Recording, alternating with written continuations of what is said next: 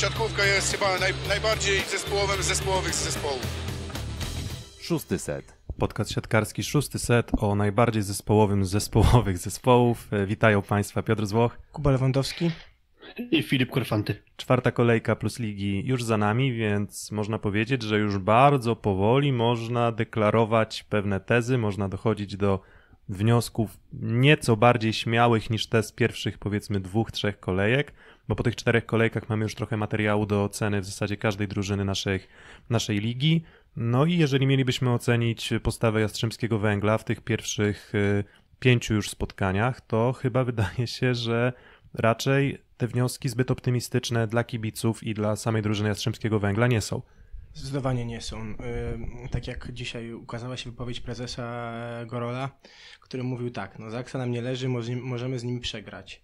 E, Z Warszawą już to wyglądało średnio, a a wczoraj z Olsztynem jeszcze, jeszcze słabiej. Także wydaje mi się, że tutaj powinni być bardzo poważne rozmowy wyciągnięte w Jastrzębiu, bo coś wyraźnie w tej drużynie nie gra i samym środkiem nie da się wygrywać spotkań. Tak, trochę jak w Batmanie, Two-Face, Jastrzębski Węgiel, jak gra z drużynami tymi teoretycznie słabszymi od siebie, to wygrywa 3 do 0.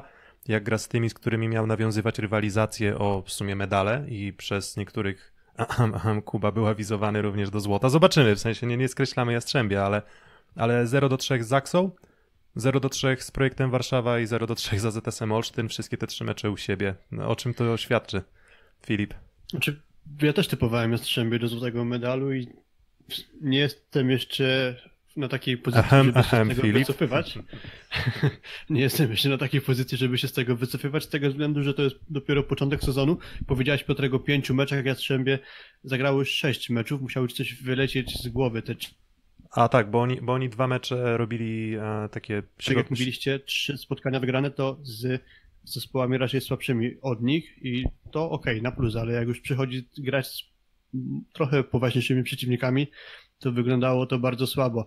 Ej, Przyczyny? Myślę, że poszukałbym tutaj w absencji Juliana Linella i też po części w tym, że nie było od początku drużyną Grahama Weigrasta, który dostał trochę wolnego, a gdy już wrócił do gry w dwóch ostatnich meczach, no to prezentował się moim zdaniem całkiem pozytywnie, ale kluczową postacią w Jastrzębiu dla mnie jest Linel i jego brak trochę nam zamazuje obraz tego zespołu. Właśnie, ale hola hola, to przecież mówiliśmy o Jastrzębiu jako o drużynie dwóch, może nie równych, ale dwóch mocnych siódemek, więc no, dlaczego Tomasz Fornal nie jest w stanie wejść w buty mm, Juliana Linela? Dlaczego Dominik Depowski, który chyba był awizowany na pozycję czwartego przyjmującego w meczu z Olsztynem, e, chyba jest najlepszym zawodnikiem na boisku Jastrzębskiego Węgla. No coś tu nie gra. Czy był najlepszy na pewno na skrzydle, nie? W środku to wygląda dobrze, no ale tak jak powiedziałem, samym środkiem się nie wygra i wczoraj widać było, że Wajgras w trzecim secie te zagrywki dużo dały, dały jeszcze taki tlen drużynie, natomiast no chyba trzeba powiedzieć jasno, że te skrzydła wyglądają bardzo źle. Znaczy, ogólnie to ciężko spodziewać się dobrej gry od jednego konkretnego zawodnika, skoro wszyscy właściwie grają źle.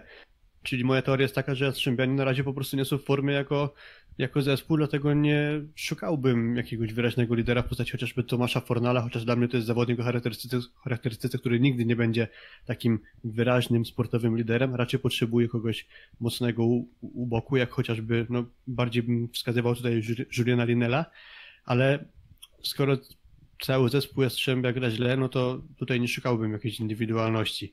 Po prostu są w słabej formie. To może, to może po kolei. Pierwszy mecz z Zaksą, no to już, już, już, już chyba gdzieś tam omówiliśmy po drodze. Mm, No to mecz z Oniko Warszawa, sobotni. Mm, Oniko Warszawa wydaje się, że gra dokładnie to, czego wszyscy od nich oczekują. No i robią to dobrze. E, Oni zabezpieczyli sobie dobre przyjęcie. Oni mają bardzo dobry blok, e, chyba jedni, jeden, jeden z czołowych wyników, jeżeli chodzi o liczbę bloków też punktowych i nie tylko, też punktowych. Mm, No i oni, Jastrzębski Węgiel, zamęczyli dobrym przyjęciem i zamęczyli, zamęczyli obroną. No Jastrzębski Węgiel nie mógł się wbić w boisko w, w tym, tym meczu sobotnim przegranym 0 do 3. Mm, I, i, I Warszawa po tym meczu, po tym 0 do 3, ja, ja, ja miałem takie wrażenie jeszcze, jeszcze, jeszcze przed tym wczorajszym meczem, że właśnie Indyk Pola ZS Olsztyn powinien być wręcz no, faworytem tego spotkania i trochę mnie zaskakiwały rekomendacje bookmacherów, którzy mówili, że tam jednak to Jastrzębski Węgiel jest zdecydowanym faworytem. I gdybym miał ocenić to nawet nie po samym wyniku, bo tam dwa sety niby na przewagi Olsztyna, ale, ale, ale Olsztyn no, był w sumie od początku, może nie od początku do końca, ale przez większą część meczu sprawował tę, tę kontrolę na boisku i Warszawa również. To nie było tak, że Jastrzębski Węgiel miał jakiś tam mocny punkt zaczepienia. Wiecie co, panowie, ja powiem tak, bo ym, rzeczywiście y, no mecz z Zaksą umówi, umówiliśmy, a w meczu mm, z drużyną z Warszawy mamy sytuację taką, że bloki 9 do 9, także tu mamy remis. To przyjęcie w drużynie Jastrzębia też takie złe nie jest i tak naprawdę oni się pogrążają sami po pierwsze w tym, że ataki idą bezpośrednio w aut, chociażby wczoraj takie były cztery przecież bezpośrednio, mm, jeżeli dobrze pamiętam, w trzecim secie No, w serii. w serii e, i to z każdej pozycji, E, a w meczu z, y, z drużyną z Warszawy, no tak naprawdę oni byli non-stop podbijani i ja mam wrażenie, że tam brakuje mocy, no naprawdę. Mhm. No, e, jeżeli, no jedyny, który jakąś tam moc prezentuje, to jest Krystian From, ale my wiemy, że to jest zawodnik mocno chimeryczny, no i w meczu z Warszawą 28%, tak, Dawid Konarski 25%, e, Fornal 47%, no na, na, na takich skrzydłach to my tutaj gry nie zbudujemy. I, i, I co z tego, że środkowi praktycznie mają bardzo wysokie procenty i kończą to dostaną, jak dostają 7-8 piłek.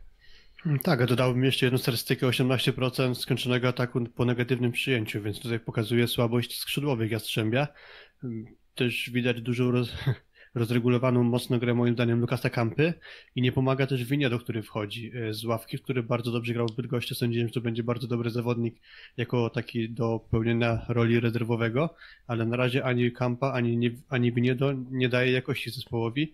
To by się jakby wpisywało w moją teorię, że oni wszyscy po prostu są bez formy. Tak, ak- Być może to jest jeszcze kwestia czasu. tak akcje, akcje nie mają tempa i to tak jak powiedziałeś i przy Lukasie Kampie i przy Rafaelu Winiedo. Mm, Trochę przypomina mi ta sytuacja Jastrzębskiego Węgla, to jak wyglądał Olsztyn na początku zeszłego sezonu, czyli źle wyglądał fizycznie. A w, był mm, w ta, w trakcie poprzedniego sezonu gdzieś tam tajemnicą Poliszynela było, że obecny tam preparatore fiziko Olsztyna, czyli no, Paweł Ciesiun, jeden, no, też uważam go za bardzo dobrego eksperta, no z nim Santili się poróżnił w ocenie gdzieś tam przygotowań i, i, i potem faktycznie Olsztyn miał problemy z tym, żeby na przykład przy tych meczach pięciosetowych e, wyglądać dobrze fizycznie. Jastrzębski Węgiel po prostu na tle Olsztyna. Na, porównajcie sobie nawet siłę ataku, dynamikę Wojciecha Żalińskiego z wczoraj, bo, roz, bo rozmawiamy w środę mm, 13 listopada, więc już jesteśmy po tym meczu wtorkowym.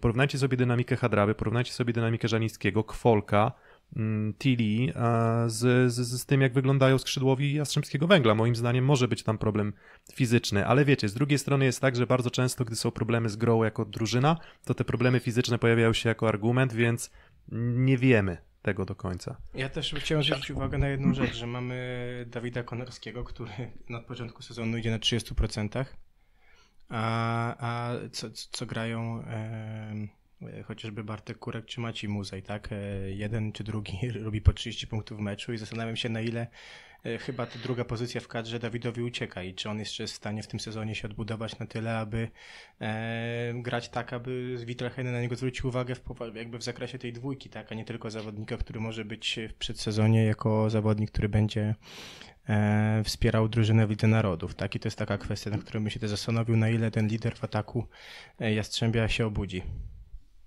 No, dokładnie, na pewno w skuteczności Dawida Konarskiego poszukałbym jeszcze jakiegoś e, znaku takiego, który być może coś dobrego przyniesie. Przedtem jak słuchałem Piotrek Ciebie tego, co mówisz właśnie o tym, jak fizycznie wygląda Jastrzębie, to jakaś, jakaś taka parafraza filmu mi przyszła do głowy, że Jastrzębski siatkarz nie ma luzu, porusza się jak wóz z węglem.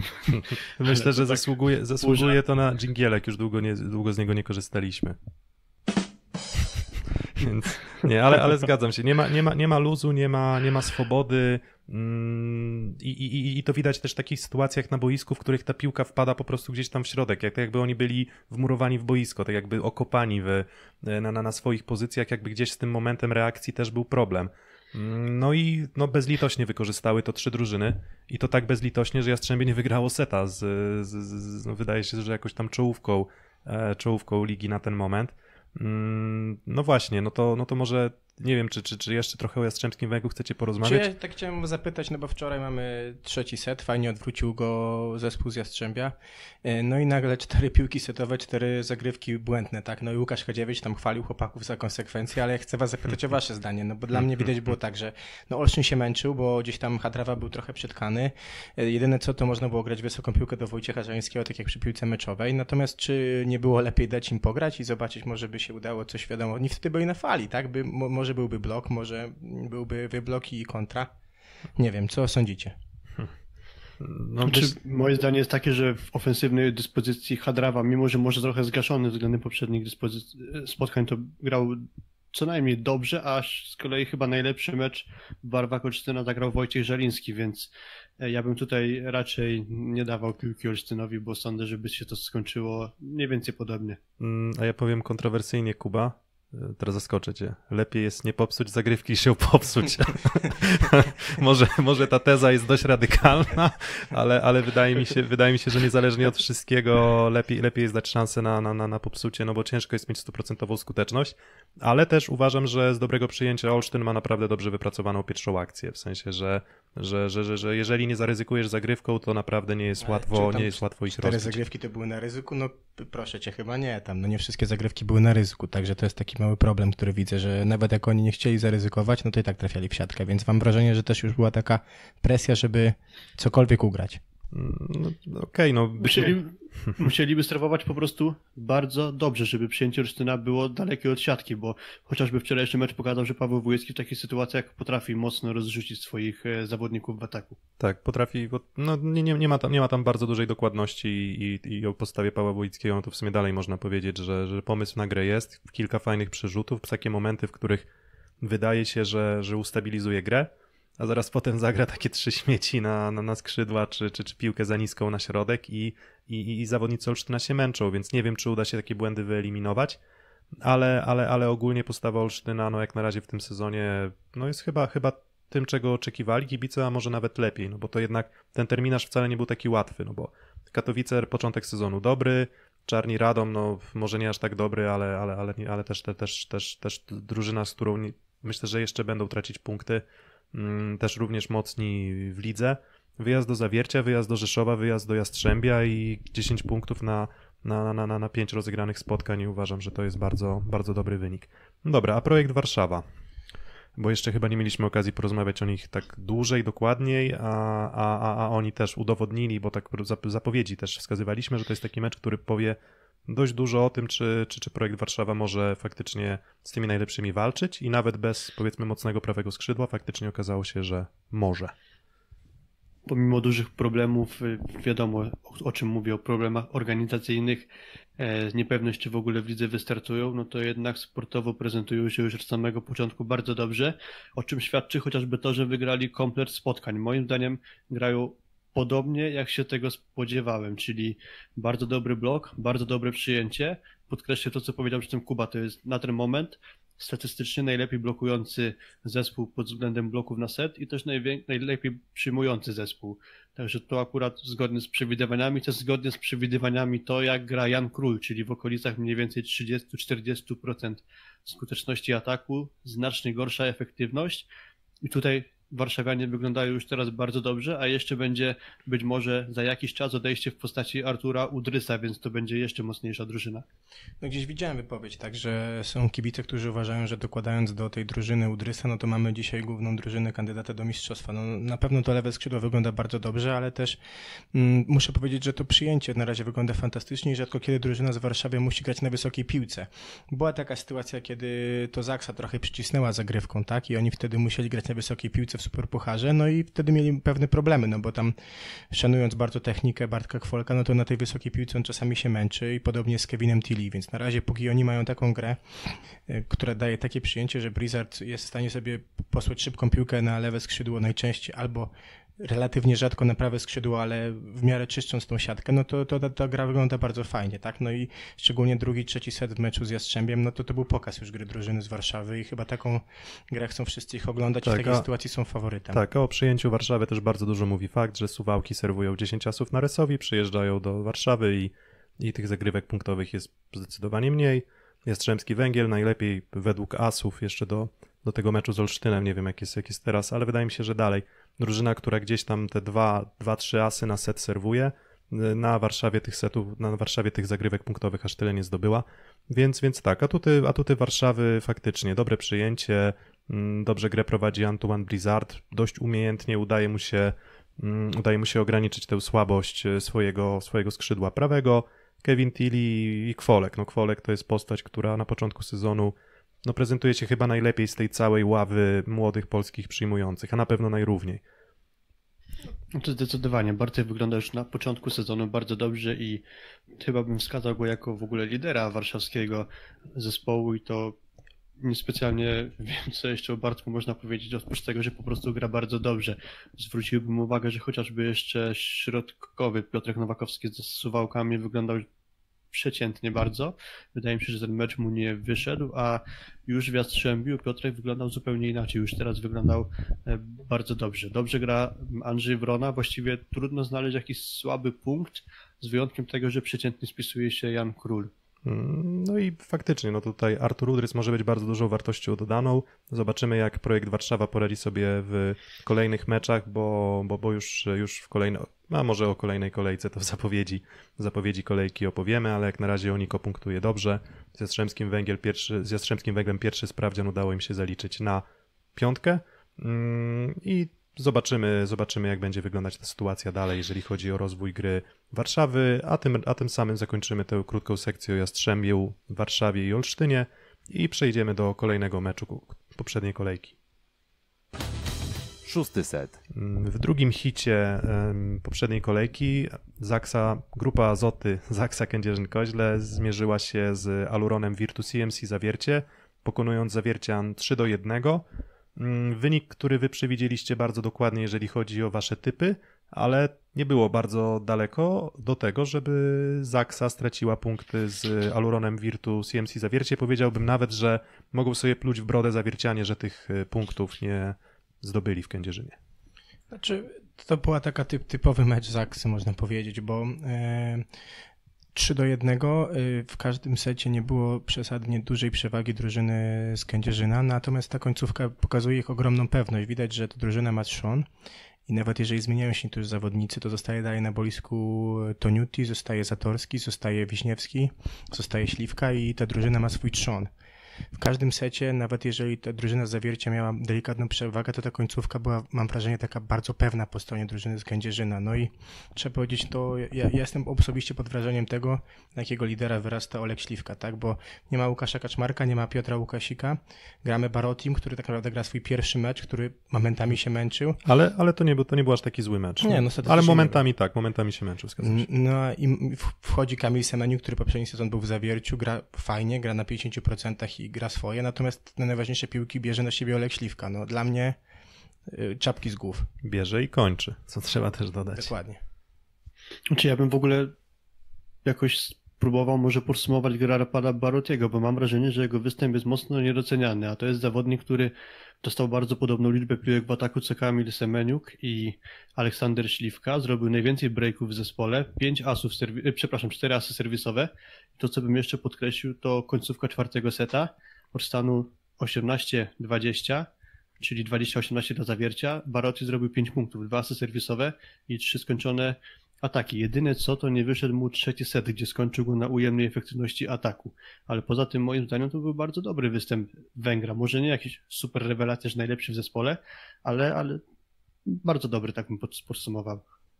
Wiesz co, ja bym powiedział bardziej, ja mam jakby mega szacunek do Toniutiego, jak on go wprowadzał do gry, no bo też przyznasz, że no tak, czwarty set końcówka rzeczywiście dużo piłek do niego, też piłka meczowa na e, ostatni atak na, na czystej siatce też do niego, natomiast widać, że był mądrze prowadzany, tak, nie dostawał od początku najtrudniejszych piłek, zresztą ten pierwszy set wyszedł średnio Zaksie, e, no i mówię, tak naprawdę dobrze rozkładał grę Toniuti. No, a czego, a czego innego spodziewalibyśmy się od Benjamina Toniottiego, jak to niedobre rozkładanie gry i stawianie na te akcenty, które akurat też mu kończą i kreowanie liderów w zależności od, znaczy, od, od formy Komfortem też Bena Toniottiego było to, że miał takiego wyraźnego lidera w postaci Aleksandra Śliwki, że jako piłkę by mu nie zagrał, to Olek sobie dawał radę i nie były takim zawodnikiem, do którego można by się obawiać w razie czego. Tak. Barotti może jeszcze dosyć mało zgrany z zespołem, może dlatego nie dawał mu Toniutti jakichś kluczowych piłek, czy znacznej liczby kluczowych piłek, ale to po prostu wykorzystał atut, który miał na przeciwległym skrzydle, bo też oprócz tego, że co najmniej dobrze zagrał Barotti, bardzo dobrze Śliwka, no to jeszcze Kamil Semeniuk zaliczył bardzo dobre wejście. Tak, pierwszy mecz Kamila Semeniuka w sumie chyba w, w takim dłuższym wymiarze czasu na boisku i poradził sobie bardzo dobrze. Co do postaci Węgra, ja jeszcze tylko zwróciłbym uwagę na to, że, że, że, że to nie jest zawodnik, który ma jakąś najlepszą kontrolę w ataku, bo, bo zdarza, zdarza mu się te piłki w aut wyrzucać, e, w szczególności takie, które zmuszają do, do faktycznie nieco większego poziomu precyzji.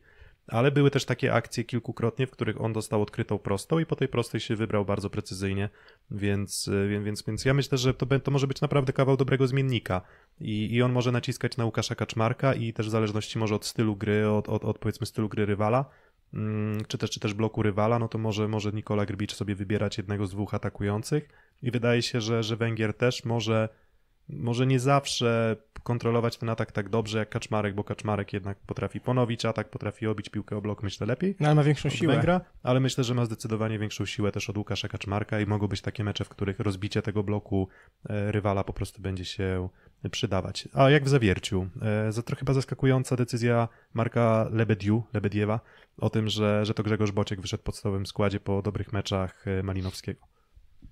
Znaczy to było dość równo rozłożone w dotychczasowych spotkaniach gra Boćka i Malinowskiego. Dla mnie zaskoczeniem nie było to, że Bociek na to bój, na boisko wyszedł w szóstce, a zaskoczeniem było to, że już na początku drugiego seta nie został zmieniony, bo o ile ten pierwszy set w jego wykonaniu nie był najgorszy, tam 4 z 9 piłek skończył i widać było u niego taką jakby chęć poszanowania piłki. On nie oddawał piłki bezpośrednio, czy to na siłę jakoś starając się atakować, y, nie wyrzucał piłek w aut, nie dał się zablokować, starał się obijać bloki, ewentualnie ponawiać akcje lub też chyba dwa punkty zdobył Kiwko, co nie jest typowe dla niego.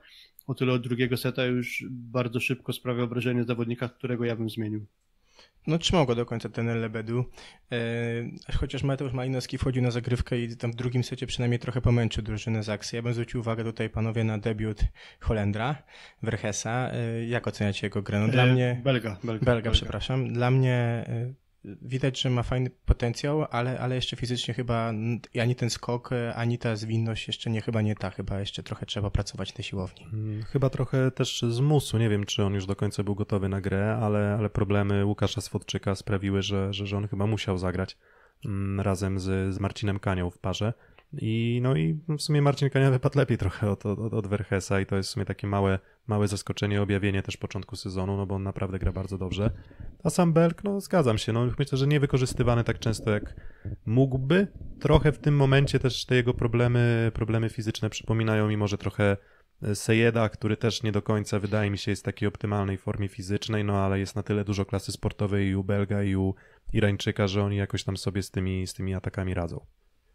Tak, możesz mieć wyrównaną kadrę pod względem liczby środkowej, czy też może liczną kadrę pod względem środkowych, bo jest ich pięciu w zawierciu, ale tak, Łukasz Sworczyk kontuzjowany, e, Bartosz Gawryszewski kontuzjowany, Patryk Czarnowski przypuszczalnie też kontuzjowany, bo jeszcze do tej pory go na boisku w tym sezonie nie widzieliśmy, no i ja sądzę, że właśnie to trochę jest tak, jak powiedział Piotrek, że być może trochę z musu wystawiony Verhes. E, Ale- ale ten- mniejszą liczbę piłek dostał od e, Marcina Ale, Kani. ale całkiem, całkiem smaczny ten mus, w sensie jakoś, jakoś nie stanął, nie stanął w Tak, tak, to przełyku. nie było tak, że to był zawodnik, do którego Masny obawiał się posyłać piłki, bo nie wiem, bo, bo, bo nie może ruszyć barkiem czy coś takiego, także to nie był, brzydko mówiąc, słup na boisku zawiercia, tylko jednak zawodnik, który mm, swoje potrafił dodać. 6 z 8 skończonych piłek, dwa punktowe bloki. Rzuciło mi się w oczy to, że został zablokowany akurat na koniec trzeciej partii. Blok na nim w wykonaniu chyba Łukasza Wiśniewskiego Wiśniewskiego. zakończył tego seta. Mm, To, to, to jeszcze tak, jeżeli chodzi o zawiercie, bo to w sumie w Zaksie wyróżniliśmy Śliwkę, wyróżniliśmy Barotiego, w zawierciu wyróżniłbym Ferreirę, bo wiem, że on jakieś tam chyba problemy z infekcją jakąś miał przedmeczową i, i, i pomimo tego wszystkiego zaprezentował się bardzo dobrze. Mm, On miał taki moment w, chyba nie wiem, właśnie w tym drugim secie wygranym przez zawiercie, gdzie on chyba skończył 9 z 10 piłek. Tam był no, non-stop w zasadzie wszystkie piłki na kontrze otrzymywał, dokładał, dokładał zagrywkę, no i no dalej, no tak jak już stawiliśmy go do tej siódemki kolejki, no to może tym razem nie, ale, ale to jest cały czas kolejny dobry mecz e, Portugalczyka. i, i, i jego, jego akurat z drużyny zawiercia bym wyróżnił chyba najmocniej. No warto było na niego czekać, tak? Poprzedni sezon, początek kontuzja, ale warto było na niego czekać, bo początek ma rewelacyjny. No, Znaczy, wydaje mi się, że to, oprócz tego, że Bociek odstawał w tym spotkaniu, to po prostu dobry mecz zagrali wszyscy zawodnicy zawiercia. To jakoś nawet Marcin Waliński moim zdaniem grał całkiem dobrze i rewelacyjnie spisywał się na kontrze chociażby. Tak, i, i, i właśnie nie, nie, nie popadałbym w jakieś nastroje minorowe, jeśli chodzi o kibiców zawiercia. To był wyrównany mecz z mocną drużyną na, na obcym terenie. Bardzo blisko było urwania punktów w Zaksie, no ale Zaksa, trochę tak jak też pisałem, pisałem na Twitterze, raz na jakiś czas się tymi myślami też dzielimy w odcinku, że, że, że, że w sumie Zaksa wydaje się, że, że, że, że nie gra nic cały sezon, że jakieś tam mecze, że że, że, że, że, wszyscy narzekają, że ta Zaksa to nic nie gra, nic nie gra, nic nie gra, a potem w sumie przychodzi kolejny mecz, kolejna końcówka, oni znowu ogrywają swoich rywali i, i, i w zasadzie jak na razie nie widać na nich e, mocnych. Może parafraza lekka Garego Lin- Linekera, tak? Na, na, na boisku jest 12 siatkarzy, a na końcu tak wygrywa Zaksa. No, no w, naszej, w, naszej lidze, w naszej lidze sprawdza się to doskonale, w europejskich pucharach już może troszeczkę inaczej i, i, i, i- nie wiem, co to mówi o poziomie naszej ligi, ale, ale dla Zaksy, jeżeli chodzi o, o wyniki i postawę na początku sezonu, duże brawa. I tyle o meczu Kędzierzyna Koźla z Zawierciem, a za chwilę o meczu Kuprum Lubin za Sekorysowią Rzeszów. Szósty set. Kuprum Lubin 1 do 3 porażka we własnej hali z Asseko Resowią Rzeszów, Resowia Rzeszów, dwa zwycięstwa z rzędu. Pierwsze z Bydgoszczą 3 do 0 i teraz jed, 3 do 1 z, właśnie z drużyną z Dolnego Śląska. Mm, Filip, no chyba już nie musisz sobie wyd- wydrapywać oczu obserwując grę Aseko Resowi Rzeszów. Te dwa mecze chyba trochę optymizmu wlały w, no w sumie w, we wszystkich kibiców Resowi. Trochę optymizmu wlał mecz z Bydgoszczą, a całkiem dużo mecz z Lubinem. W meczu z Bydgoszczą Resowia już wyglądała trochę lepiej jako zespół, aczkolwiek dal, w dalszym ciągu minusem tego zespołu była dyspozycja atakującego, bo jeszcze moim zdaniem bardzo słabo wyglądał wtedy Zbigniew Bartman, ale minęło 3 dni i w meczu z Lubinem Bartman został MVP i wtedy już nawet optycznie, pomijając statystyki, Bartman wyglądał bardzo dobrze, podobnie jak cały zespół Aseko Resowi, pomijając pierwszego katastrofalnego seta skończył się pierwszy set i Resowia zaczęła wyglądać naprawdę bardzo pomyślnie. No, Widać to też po statystykach, tak, że tym, tym razem i skuteczność Bartmana i Hoga była na podobnym wysokim poziomie, kilkanaście punktów zdobytych. Zaczęła drużyna też z Rzeszowa wyglądać jako zespół. Chyba wykrys- wykrystalizowała się pierwsza szóstka na ten moment. E, Bartłomiej Królicki gra kosztem Marcina Możdżonka, no i też widać, że to zgranie z Marcinem Komendą, jakie mają, czasami na środku procentuje. Także jestem bardzo ciekaw, mówiąc szczerze, tego, co wydarzy się za dwie godziny w Argo Arenie i, i jak będzie wyglądała drużyna Resowi, która trochę nabrała pewności siebie, względem drużyny z Gdańska, która była naładowana, wygrała też y, tiebreak w Katowicach, no ale teraz miała trochę przerwy. Mm, Tak, i w sumie tak. Pierwszy dobry mecz atakujących Resowi w starciu z Lubinem. Zbigniew Bartman, e, on sam narzekał jeszcze kilka dni wcześniej e, na, na swoją dyspozycję fizyczną, że on nie, nie czuje się w pełni, w pełni gotowy do gry na najwyższym poziomie. Trochę z konieczności musi grać i, i ten mecz z, z Kuprum, no to jest mecz, za który Zbyszka na pewno Bartmana trzeba e, wyróżnić, bo mm, dużo, dużo trudnych piłek, które otrzymywał on razem z Hołgiem, to mogą być takie dwa filary, jak na razie przynajmniej tak, tak, to, tak to wygląda w Rzeszowie, że to są takie dwa filary, na których grę ofensywną Marcin Komenda czy też e, Shoji będą mogli opierać, w zależności od tego, na którego rozgrywającego się zdecyduje trener Gruszka. Wracając na moment do tego, że wykrystalizowała się wyjściowa szóstka Rzeszowian, no to jednak jest problem w postaci tego, że chory jest Bartłomiej Lemański, a z kolei kontuzji jakiegoś chyba naderwania mięśnia doznał Marcin Możdżonek i pierwsze rokowania są takie, że może to być dłuższa przerwa, dlatego e, to kolejny zespół, który został zmuszony grać do jed... na, jed... na właściwie dwóch jedynie zdrowych środkowych postaci. Akurat w przypadku Resowi Bartłomieja Królickiego i Grzegorza Kosoka, ale zaprezentowali się bardzo dobrze, zwłaszcza Grzegorz Kosok wypadł bardzo dobrze. Tak, a może, a może paradoksalnie ograniczenie możliwości rotowania wyjdzie tej drużynie na dobre. Może, może, może. Na, pew- na pewno łatwo się nie trenuje w takich warunkach. Znaczy, z jednej strony tak, z drugiej strony, jeżeli chodzi o mm, powiedzmy tak, takie budowanie jakichś tam relacji wewnątrz drużyny, czy też na boisku, to wydaje mi się, że, że, że, że, że to, że po prostu no, musisz postawić na tych dwóch zawodników i to oni muszą pełnić drużynę i to oni muszą razem wychodzić z tych wszystkich problemów. Nie masz odejścia w postaci zawodnika na ławce. Jeżeli nie poradzisz sobie sam ze swoją grą, to po prostu będziesz musiał, no nie wiem, no, no, no, no to będziesz po prostu zawalał grę całej drużyny tak naprawdę. A Filip, powiedz, Russo już jest gotowy? Znaczy Russo już wszedł na, krótki, na krótką chwilę w meczu właśnie z Lubinem, więc sądzę, że jeśli zajdzie taka potrzeba, to Belg będzie mógł pojawić się na placu. Natomiast mi się wydaje, że Nikola Mareszal wyglądał dobrze z Lubinem. Znaczy, dostał niewiele piłek, tak, chyba skończył połowę z nich, ale w przyjęciu i w tym elemencie defensywnym wyglądał przyzwoicie. W elementach defensywnych tak, ale w ataku mam wrażenie, że jeszcze mu trochę brakuje dyspozycji fizycznej.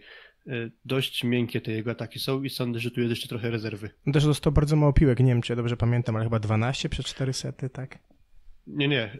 Z pamięci mówiąc chyba 7 z 17 no Dobra, panowie, panowie, nie, strzelajmy, nie strzelajmy sobie cyferkami, bo cyferki są fajne, ale jeżeli podpierają jakąś tezę, więc nie, nie przerzucajmy się tutaj, czy skuteczność taka, czy inna. Jeżeli no plus minus wiemy, że to było 50%, no to to wskazuje na, na niezły mecz Nikola, e, Nikoli Mareszala. Nikoli czy Nikolasa? No, mniejsza, Mareszala w każdym razie. Mm, a w, czy, czy, czy, co sądzicie o postawie Kuprum Lubin? Bo mm, no jedna niespodzianka z Bełchatowem, jedna niespodzianka z Zawierciem. Teraz tej niespodzianki nie udało się sprawić też dzięki dobrej, grze, dobrej grze Asekoresowi Rzeszów. Mm, I co, co sądzicie o samym Lubinie w tym konkretnie meczu? Problem Lubinian jest taki, że nie może grać Damian Domagała. On ma rękę w gipsie i przypuszczalnie może to oznaczać, że jeszcze przez jakiś czas Lubinianie będą musieli sobie bez niego radzić. I to będzie chyba mocno zależny zespół, tak mi to wygląda po pierwszych kolejkach, zależny od dobrej dyspozycji Jakuba Ziobrowskiego, który akurat z Resowy grał bardzo słabo i to się przełożyło na wynik całego zespołu. Oprócz tego kontuzjowany w tym meczu był e, Robinson Dworanen, za niego wszedł Kamil Maruszczyk do składu i akurat on prezentował się pozytywnie, ale jeśli będzie grał słabo Jakub Żebrowski, to para Maruszczyk-Lipiński mi się wydaje, że to jest zbyt mało, żeby ogrywać dobrze grające zespoły. Mm, no i nawet teraz y, w momencie nagrania gdzieś w tle leci mecz y, Kuprum Lubin z y, Cer Cerradem Eneo Czarnymi Radą, no i faktycznie Dworanena dalej nie ma. E, Maruszczyk no w tych poprzednich meczach chyba radził sobie nieco lepiej, z Resowią nie wypadł aż tak, aż tak dobrze, ale, ale ja cały czas uważam, że to jest zawodnik, który, który swoje jakieś tam piętno na, na lidze może odcisnąć i wydaje mi się, że tym właśnie akcentem możemy zakończyć znaczy, dwor... dyskusję. Tylko pół, pół zdania komentarza. Przy tym widziałem fragment tego meczu, Dworanen na boisku akurat był, więc może został po prostu już zmieniony. No I jeszcze potwierdzając to, co powiedział Filip, no na razie jest 1 do 1 w tym meczu, natomiast y, Ziobrowski 9 na 12, także dzisiaj dobrze gra, także jest szansa na zwycięstwo Luwina. No, o, tym, o tym przekonamy się już, nie wiem, już w tym odcinku tego nie obejmiemy, ale, ale może w zapowiedzi kolejnego odcinka już będziemy znali, e, znali wynik i, i wtedy podzielimy się nimi i po prostu odniesiemy się może jakoś do niego w nagraniu przedsezonowym. No dobra, no to znamy, mm, powiedzmy to ok, to może jeszcze zanim przejdziemy do wyboru siódemki kolejki, to pozostałe wyniki spotkań w tej kolejce. BKS Wisła Bydgoszcz przegrywa 0 do 3 z PGS Krą Bełchatów. Tutaj Wszyscy, my, wszyscy zgodnie przewidzieliśmy taki wynik i taki wynik zaiste stał się tylko w jednym secie na przewagi PGS Krabełchatów. Mm, Cer, Cerrat Enea Czarni Radom 3 do 0 z MKS-em Będzin. MKS Będzin dalej, e, dalej e, bez zwycięstwa. E, bez zwycięstwa i bez punktu chyba tak, również tak, w, w, w lidze na ten moment.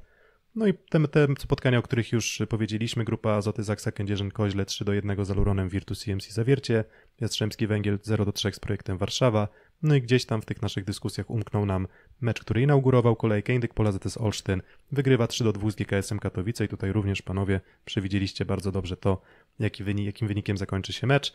Mm, za, o, o przewidywaniach na kolejną kolejkę porozmawiamy sobie w zapowiedzi, natomiast tym razem przejdziemy do siódemki kolejki. Szósty set. Mm, no to tradycyjnie rozpoczniemy może od pozycji atakującego. Mm, kilka kandydatur jest. Ja może zacznę od pierwszej, Zbigniew Bartman. A ja bym powiedział Mariusz Wlazły, chociaż wydaje sobie sprawę z tego, że ten mecz był troszeczkę inny, inny kaliber przeciwnika, natomiast no, pewne, pewne, pewne moją tak powiem, wrażenie na mnie robi to, że Mariusz gra drugi mecz, w drugi mecz wygląda dobrze, tak? Wygląda dobrze, ma, nie chcę znowu strzelać tutaj, ale chyba powyżej 60% skuteczności e, i jest e, bardzo pewnym zawodnikiem. A czy dodałbym jeszcze trzecią kandydaturę w postaci Karola Butryna, który został MVP meczu w Radomiu i też moim zdaniem grał bardzo dobre spotkanie.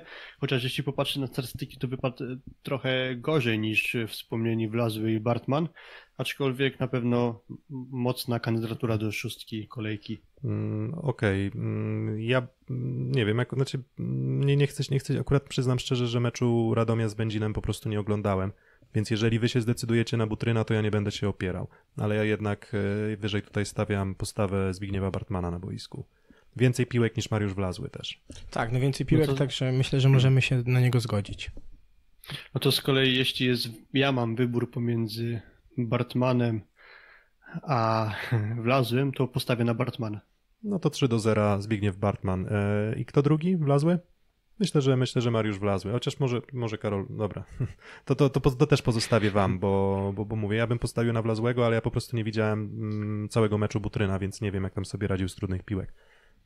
Czy Mariusz Wlazły skończył 12 z 15 piłek i okej, no przeciwnikiem była Bydgoszcz, ale to i tak jest imponujący wynik. Także za to Ale, ale wiesz, jeszcze uzupełnię, no mówimy o tym, że grali z Bydgoszczą, drużyna, która jeszcze nie zdobyła punktu, ale Karol Zdobyła Budryn, jeden. czyli Bydgoszcz- Bydgoszcz, Enea, Czarni Radom, to było dokładnie tak samo. Bydgoszcz jeden, punkt, jeden punkt zdobyła, Nie wygrał meczu i nie zdobył punktu. ale Bydgoszcz jeden punkt już zdobyła. A tak, przepraszam, z Radomiem właśnie tak, racja, macie rację, okej, no to. Bydgoszcz jeden punkt zdobyła, a Będzin jeszcze nie, więc może to nie jest jakiś super Dobra, argument. dobra, to, to dobra. To będzie, ten jeden, będzie ten jeden punkt Bydgoszczy przesądza, że ciężar gatunkowy spotkania w Bydgoszczy był większy, więc niech będzie Mariusz Wlazły, więc Zbigniew Bartman i Mariusz Wlazły. Na przyjęciu mm, no Nikola, Nikolas Hołk znowu. Znaczy oprócz niego na pewno Bartosz Kwolek, na pewno Aleksander Śliwka, W sensie tak, Artur Szalpuk. Szalpuk. Artur Szalpuk. tak no jakby nie, nie, rzu- Taka- nie rzuciłem ale tak, nie rzuciłem Hołga tak z myślą, że koniecznie musi być w tej siódemce, tylko że po prostu znowu, znowu dobry występ. A Robert Andringa, Piotrek? Mm, nie. MVP? No, tak, no MVP, ale, ale, ale, ale ta gra zgrzytała trochę w, w, ofensywie u, u Holendra i pewnie będzie zgrzytać. On, on, znaczy on, to, to, był, to był jego dobry mecz, chyba najlepszy w tym sezonie, ale, ale nie, wydaje mi się, że, że, że, że nie, nie, nie, inni byli lepsi po A, prostu. a, a, no tak, dla mnie na pewno w szóstce musi być Bartek Kwolek. Ja myślę, że tutaj co do tego chyba ciężar gatunkowy meczu, przeciwnik przynajmniej z nazwy bardzo mocny, a tutaj fantastyczne statystyki, no i MVP meczu. No to, chyba- tak, to ja się, ja się zgadzam. Pociągnął projekt Warszawa do zwycięstwa 3 do 0. to ja się zgadzam, w, tym druży- w drużynie kolejki musi być Bartosz Kwolek, ale oprócz niego postawiłbym też w sumie na Aleksandra Śliwkę, który też grał gatunkowo ciężkie spotkanie. Tak, i to był, i to był Był dobry moim mecz. zdaniem liderem Zachsy, Tak, zagrał bardzo dobry mecz tak, i dobry, obok Kwolka postawiłbym na Śliwkę. Tak, no to, no to mamy dwóch Mhm. reprezentacyjnych młodych przyjmujących w tej podstawowej szóstce. Myślę, że Artur Szalpuk i Tak. Nikolas Hołk to też są dobre kandydatury. Szalpuk podobnie jak Mariusz Wlazły powyżej tak, 70%. bardzo, bardzo wysoka. Zagrywał z wyskoku. tak, i, i, to, i to z dobrym efektem, Tak. więc, więc tutaj Artura Szalpuka i Nikolasa Hołka dałbym jako tę, tę rezerw, rezerwę naszą. Zgad- Zgoda. Filip? No tak, zgoda, zgoda. Super. A środkowi? Mm, Miłosz zniszczą. Pokarał trochę swój, swój zespół poprzedni, bo on tam, nie wiem, chyba pięć bloków. E, Mateusz Pięć Poręba. bloków, Mateusz- najwięcej zagrywek z, z zespołu Katowic, także no, bardzo dobry zespół, ale niestety porażka na Tak. Katowiczan. Ma, z kolei Ale Mateusz Poręba też punkt. 5 bloków. Tak, Mateusz Poręba też 5 bloków i, i nieco mniej w ofensywie go było, ale, ale kolejny dobry występ u tego środkowego. Dobrze, to całkiem dobrze wyglądał też Grzegorz Kosok. Mm, do, i, i, Piotr i, Łukasz Nowakowski Wiśniewski. I, Piotr i Nowakowski. Łukasz Wiśniewski Tak. dla mnie kandydat do drużyny na pewno. No dobra, znaczy Łukasz ja myślę. Łukasz, Łukasz Wiśniewski absolutnie zgadzam Absolutnie. się i, i, i wydaje mi się, że znowu z tytułu tego, tego ciężaru gatunkowego i tego, że jeszcze Piotrka chyba Nowakowskiego nie było w naszej siódemce, to może właśnie Piotrek. Szybko się odbudował po niezbyt udanym meczu z Suwałkami, dlatego myślę, że można spokojnie go tam zamieścić. Jeszcze odebrał order od prezydenta, także W międzyczasie, no właśnie, więc w sumie w tych takich klimatach niepodległościowo-patriotycznych to może jeszcze dodatkowe wyróżnienie od szóstego seta, więc dokładnie. Czyli więc- co, Łukasz Wiśniewski i Piotr Nowakowski? tak, Łukasz Wiśniewski, Piotr Nowakowski i, i na ławce myślę, że mimo wszystko Miłosza Zniszczała Tak, bym tak. wyróżnił, no bo to są takie wyniki, które zdarzają się dość rzadko. Kochan? A... Czy Kosok? Myślę, że Kosok, Kosok. No to Kosok. No to Kosok. No to mamy. I tym razem nie Mateusz Poręba. Dajmy szansę środkowemu Asekoresowi. Mm, rozgry... roz... Mateusz Poręba jest w takiej formie, że pewnie jeszcze nie raz w naszej szóstce zagości, tak mi się coś wydaje. Też tak, też tak myślę i, i ja, też, ja też nieśmiało, a może bardziej śmielej nawet i na to liczę. E, rozgrywający. To Newty. To Newty albo Blizzard chyba. Tak, takie, takie dwie kandydatury się tutaj nasuwają. Mm, Myślę, że tak, myślę, że tak. E, To Newty i Blizzard. Ewentualnie myślałbym jeszcze nad Marcinem Komendą, ale, ale sądzę, że jednak ta dwójka Mm, A kto, a kto do pierwszego Będzie składu? Znowu, Franc- znowu Francuz niższy czy Francuz wyższy? Ten z atakującą zagrywką, czy ten z zagrywką raczej flotem? wydaje mi się, że ten niższy. Okej. Nie mały, ale niższy. No mi się też tak wydawałoby, chyba że Dobra. No dobra, no to Benjamin, Benjamin Tonuti, Antoine Blizzard w tej, tej drugiej siódemce. No i Libero? Jakieś kandydatury Luke bardzo Perry. mocne? Mm, E, Co powiedziałeś, Kuba? Bo nie Perry. zrozumiałem. A, no to ja właśnie chciałem powiedzieć, że Luke Perry, bo, bo bardzo dobrze wyglądał. I drugi rzucił mi się w oczy Dustin Watten, aczkolwiek no to też jest taki trochę... Mm, mam mieszane uczucia, bo Katowiczanie spotkanie jednak przegrali, ale sam Amerykanin moim zdaniem mógłby się załapać. no to jest, ja, ja, ja tutaj nie mam, nie mam swojego kandydata, więc Damian Luke, Wojtaszek? Luke. Tak rzucam? mm, no, Nie, nie kojarzę jego statystyk, ale pod względem przyjęcia w ogóle cały zespół Warszawy wyglądał. E, no, musielibyśmy podyskutować. Wydaje, wydaje mi się, wydaje mi się że, że, że, że projekt Warszawa ma też, nie wiem, jakoś bardziej zbalansowane to przyjęcie na początku Okej, sezonu. okej. Może dlatego też Wojtaszkowi jest trochę łatwiej, więc Luke Perry. I to też kolejny dobry mecz y, Luka Perego i gdzieś tam już nam krążył w tych kandydaturach na libero potencjalnych, więc myślę, że Luke Perry domknie naszą siódemkę i, i, na, i na ławkę może, okej. może Dustin, Dustin Watten faktycznie.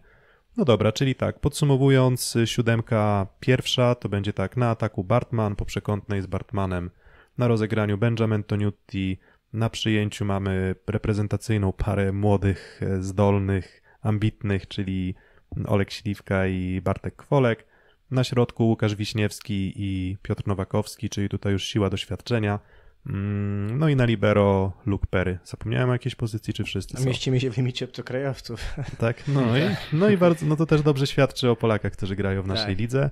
No i drugi skład, no to Blizzard z Mariuszem Wlazłym, e, po przekątnej Mhm. a, atakujący PGS Krybełchatów, na środku mm, Miłosz zniszczą, tak mówiliśmy? Tak, I Tak, i Grzegorz Kosek. Miłosz zniszczą i Grzegorz Kosok. Na przyjęciu mamy Artura Szalpuka i Nikolasa Hołga. Nikolasa Hołga. I na libero Damian. e, Na libero Da- Dustin, Dustin. Dustin Watten. Tak. Znowu się mieścimy w limicie. Tak, i znowu się mieścimy, znowu się mieścimy w limicie. I no to taka jest nasza siódemka kolejki. Podzielimy się z nią na Twitterze. Dajcie znać, co o niej sądzicie. Mm, Czy się zgadzacie, czy się nie zgadzacie. Ostatnio dyskusję wywołało to duże i co nas bardzo cieszy, bo, bo na takiej dyskusji oczywiście nam zależy. I znowu co, MVP dajemy wam wybór? Myślę, że MVP dajemy wybór. No dobra, zawęźmy do, do czterech postaci. To Kwolek. Tak. Kwolek, ok. Mm, dalej. Newty? Nie, Kwolek, Śliwka myślę na pewno, dwie postaci. Mhm. Mm, to Newtiego możemy faktycznie dać, bo, bo umiejętnie prowadził grę. A, no i w- Bartman No może? chyba tak. To może Zbigniew Bartman. Chociaż to No chyba fa- będzie. faworyt jest jeden, mi się wydaje, na MVP wasz. Znaczy ja już nieśmiało chyba zdradziłem, na kogo bym postawił. Dobra, no to zobaczymy, zobaczymy jak, śmieli, jak śmieli będziecie z waszymi typami, drodzy słuchacze, na, na, na Twitterze. Ta ankieta oczywiście się pojawi, tam na Facebooku może też, bo tam udało mi się chyba ostatnio odpalić ankietę MVP. No dobra, no to przejdziemy jeszcze do naszego stałego cyklu Kaszanka Kolejki i niech wybrzmi Kaszanka.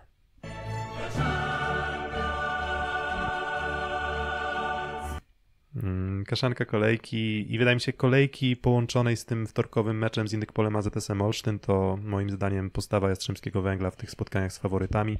Niby 9 punktów w tabeli, niby 3 zwycięstwa, 3 do 0, ale też i 3 porażki 0 do 3 i, i, i ciekaw jestem jak dużą cierpliwością się wykaże prezes klubu z, ze Śląska względem trenera Roberto Santiliego. Wie- Wiecie co, też mi się podoba, można by było do tej kaszanki dodać tą scenę z wczoraj, tak? Ta zmiana w drugim secie, kiedy mm, wchodzi Christian From, Forlan myśli, że wejdzie, Santilli go odpycha i, i, i- i prosi o zmianę, czy nakazuje zmianę Dawidowi Konerskiemu. To też pokazuje chyba taki średnio dobry klimat tam. Mm. No i też w tym trzecim secie tego meczu cała szóstka oprócz Libery wymieniona, więc to pokazuje moim zdaniem trochę bałagan panujący w tej drużynie, bo zmiennicy wpuszczani e, przez trenera Santiliego niewiele pomagają. Chociaż akurat w tym, w tym, w tym secie, gdzie tyle tych zmian było, to był to set najbardziej wyrównany, chyba na dwa punkty. Jastrzębianie się momentami nawet zbliżyli, albo nawet na jeden, ale jako całokształt tych dwóch spotkań, jeszcze dodając te nieco wcześniejsze z Zaksą, no to Jastrzębianie są dla mnie największym już takim zawodem, Hmm. pomijając pierwsze trzy mecze Sekoresowi w tym sezonie. Dokładnie, a Sekorysowia Rzeszów miała akurat też teraz to szczęście, że mogła się odbić trochę z drużynami słabszymi, no Jastrzębski Węgiel, chyba tam, nie wiem, chyba Michał Wolanin na Twitterze to określił, że tam jakieś tam pierwsze pchnięcie chyba em, nożem, to tam, czy tam, czy tam brzytwą to wykonała Zaksa, potem trochę pomęczyła jeszcze Projekt Warszawa, już taki finalny sztych, to Indyk Pola ZS Olsztyn wbił w tym meczu wczorajszym wtorkowym i no i zobaczymy, jak poradzi sobie też takim pewnie małym lekko kryzysem fizycznym, sportowym swojej drużyny Roberto Santilli. Materiału ludzkiego na pewno mu nie brakuje, ale na razie no to jest to jakiś tam zawód i jest to nasza kaszanka kolejki.